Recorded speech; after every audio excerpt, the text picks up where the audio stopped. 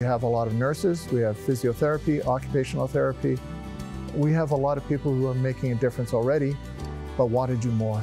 So my brother and I both got into this program together, and my brother worked as an occupational therapist for two years, whereas I completed a master's degree in biochemistry and medical genetics, and I worked in clinical practice guidelines for two years.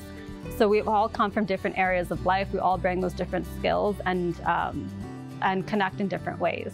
Because of the need for PAs across every subspecialty in Manitoba, we are employed in uh, virtually every, every uh, facet of medicine that you could imagine. Our graduates are working in surgery, they're working in primary care, they're working in emergency rooms, we now have our graduates working in our First Nations communities in northern Manitoba with Ongomiizwin Health Services. We're able to begin working in the field right after we graduate. Um, in that two years, we cover an incredible amount of medicine, um, both through lectures and hands-on